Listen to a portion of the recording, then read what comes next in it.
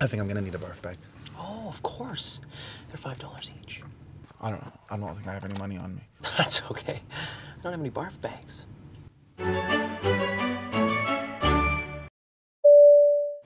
Don't mind me, fellas. Just head to the cockpit. Oh, excuse me. Pardon me. What's that, a cell phone? There's a dead body in the cockpit. Makes a don't good wanna get point. technical. That's a very good point. Split hairs. I'm a little uncomfortable. I was wondering if there's any chance.